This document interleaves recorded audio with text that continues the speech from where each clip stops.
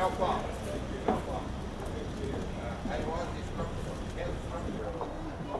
o superintendente da Polícia Federal. Tá, obrigado. Que são as inúmeras instituições governamentais